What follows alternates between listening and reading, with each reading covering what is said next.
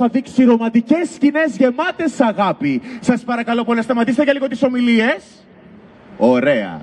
Βρισκόμαστε στα 1888 και αυτή εδώ που βλέπετε, η χαρούμενη η πεταχτούλα, είναι η Σινιόρα Ποζέλη, σύζυγος του διάσημου αρχιτέκτονα Βιταλιάνο Ποζέλη. Δεν έχει πολύ καιρό που μετακόμισε στη Σαλονίκη από την Κωνσταντινούπολη. Εδώ μόνο μαύρα ράβουν. Όλα τα άλλα θεωρούνται μοντερνισμοί και επανάστασης. 18 χρονών ήμουνα όταν γνώρισα τον άντρα μου τον Βιταλιάνο Ποζέλη.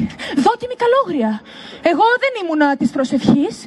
Ο πατέρας μου με έκλεισε στην εκκλησία με τους παπάδες. Και γιατί παρακαλώ, γιατί τραγουδούσα; Δεν έσβηνε ποτέ σακολημένη ήταν στο στόμα του. Μα αυτήν μιλούσε. Μα αυτήν έκανε δουλειά. Περπάταγε στο γιαπί με ένα μπαστούνι που στο κάτω μέρος είχε μία σιδερένια μύτη σαν χοντρό καρφί. Το έπηγε στον ασβέστη και όταν δεν του άρεσε κάτι φώνασε. Τζόρτζι, ρίστε κι άλλη άμμο. Στεκόταν πάνω από τα κεφάλια μας μέχρι να γίνει όπως είχε διατάξει. Ο Σινιόρ Ποζέλη ήταν από την Έτνα, γι' αυτό ήξερα από ηφαίστεια και σεισμούς. Έχτιζε τα σπίτια του γερά, τόσοι σεισμοί ξέσπαζαν στη Θεσσαλονίκη, κανένα κτίριό του δεν κουνήθηκε. Και όταν σκάψαμε για τα θεμέλια, διέταξε και ρίξαμε μέσα 60.000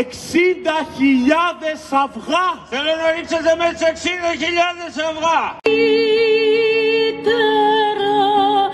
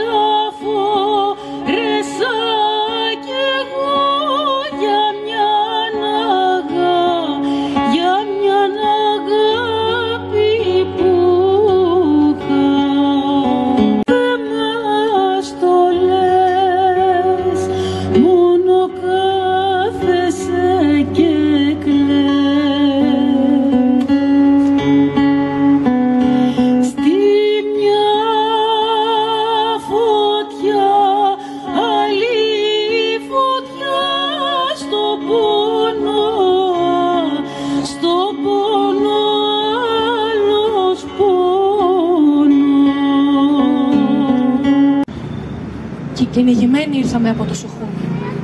Με ένα παπούτσι έφτασα. Έσφιγγα το μωρό στην αγκαλιά.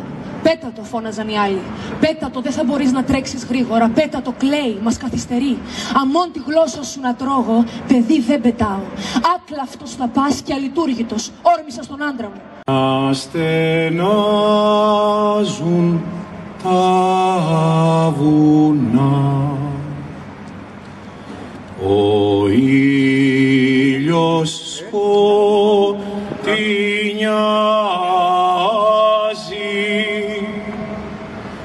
το δόλιο το μικρό χωριό.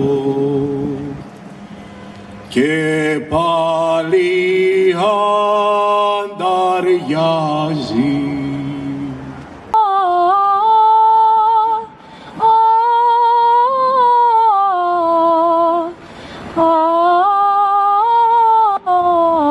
Η μόνη μου παρηγοριά είναι που πρόλαβες να φύγεις στην Αθήνα. Αυτά που ζούμε, αυτά που υπομένουμε εδώ στη Σαλονίκη, δεν λέγονται με λόγια.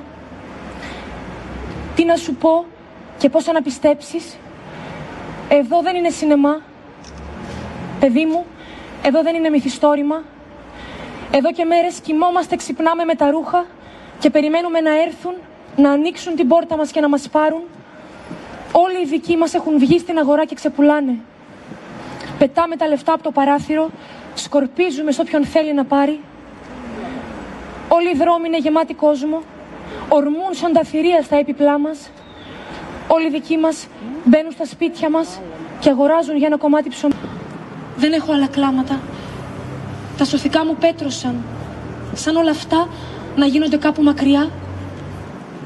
Γλυκό μου αγόρι, κοίτα να σωθείς. Αυτό είναι το χρέος σου. Να ξέρεις, μη με ξεχάσεις. Κάτω. Έλα. Έλα. δεν ήταν μόνο το ποδόσφαιρο, παιδιά. Και μπάσκετ, παίζαμε και βόλεϊ. Καλά, ε. Εγώ αυτό δεν το έχω συναντήσει πουθενά, ε. Οι παίκτριες έπαιζαν η μία για την άλλη και όλες μαζί για, για την προπονήτρια. Μερικές ήταν παντρεμένες, άλλες είχαν παιδιά. Και στους αγώνες πάντα η κερκίδα γέμιζε. Θυμάμαι τότε σε έναν αγώνα που μία έτσι μικρούλα που της έλειπε να δω δεινά εδώ βραστά και τα, τα μαλλιά της έτσι πηγαίναν πέρα δόθε γιατί έτρεχε. Ορμάει ξαφνικά στον αγωνιστικό χώρο την ώρα που πεζόταν το παιχνίδι. Όλο το κείμενο πειράζει. Ταξί μου στην τσέπη χαρτζηλίκι κι απόψε τα μεσάνυχτα θα έρθω Θεσσαλονίκη. Θεσσαλονίκη σε μια στον κόσμο δεν είναι άλλη. Θεσσαλονίκη μου γλυκιά που να έχει τέτοια ομορφιά και τα δικά σου καλή. Θεσσαλονίκη μάγισσα τραβάσα το μαγνήτη Θεσσαλονίκη μάνα μου. Γλυκιά Θεσσαλονίκη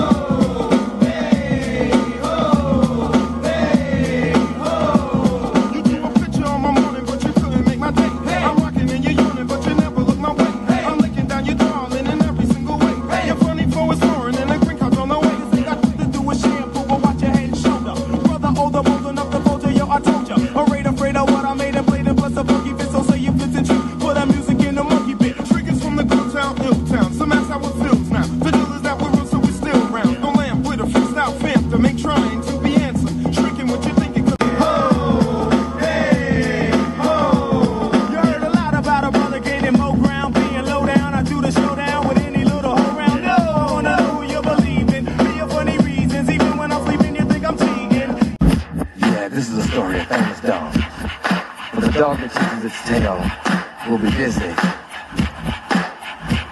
These are tapping dogs, rhythmic dogs, harmonic dogs, house dogs, dogs.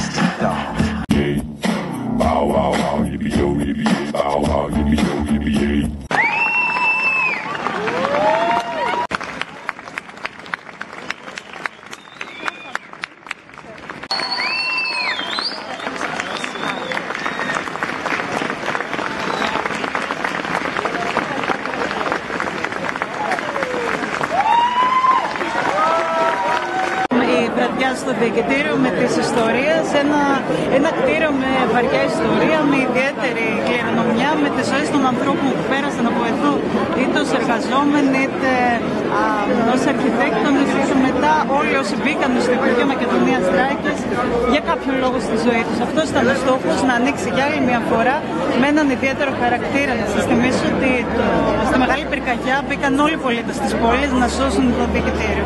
Με την ίδια αγωνία, με, το, με την ίδια ζέση, με το ίδιο πάθος προσπαθούμε και εμείς να το κάνουμε ένα ζωντανό κομμάτι της πόλης. Από το απρόσιτο διοικητήριο, ένα ζωντανός οργανισμός.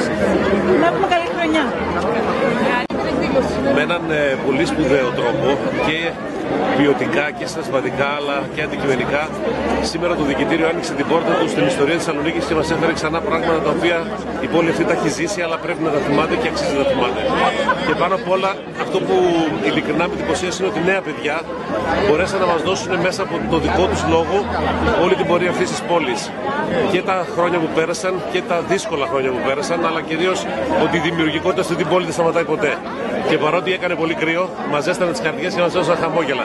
Νομίζω ότι αξίζει ένα μεγάλο μπράβο και στην ιδέα το ότι άναξε το δικητήριο την πόρτα του, αλλά και στα νέα παιδιά που δημιουργούν νέες στιγμές. Αυτή η πόλη έχει ανάγκη από δημιουργία και νομίζω ότι μας δείχνουν τον δρόμο και σε αυτό πρέπει να κάνει και η διανόηση και η τέχνη και η επιστήμη στην πόλη μας. Ο δρόμος που άνοιξαν οι πρέσβες είναι ένας δρόμος που μας δίνει Βαλκάνια πιο ζωντανά, πιο δημιουργικά, πιο πλούσια, πιο χαμογελαστά, μεγαλύτερη προοπτική εκεί που η Θεσσαλονίκη θα είναι η Μητρόπολη των Βαλκανίων. Κανείς δεν θα αμφισβητήσει πλέον το μεγαλέξτερο του βιβλίου της Βεργίνας, ακόμα και την Εκκλησία των Σκοπίων έχουμε δει βήματα. Ανοίγουν δρόμοι που αν κάποιος μπορέσει να, ξεκο- να ξεπεράσει τα μικροκομματικά του κόμπλεξ, βλέπει ότι πλέον τα παιδιά μας θα ζουν καλύτερα. Και νομίζω ότι αξίζει ένα μπράβο στους ανθρώπους που πήραν την απόφαση στη γειτονική χώρα, γιατί μεγάλες αποφάσεις έπρεπε να πάρθουν από αυτούς. Μετά από 25-27 χρόνια, άνθρωποι που εκεί μεγάλωσαν μια διαφορετική ιστορία, παίρνουν ένα διαφορετικό δρόμο που είναι ο δρόμος ειρήνης στα Βαλκάνια. Και εμείς προφανώς αντικειμενικά σας λέω, βοηθάμε και τον τόπο μας και τη Θεσσαλονίκη αλλά και τα Βαλκάνια.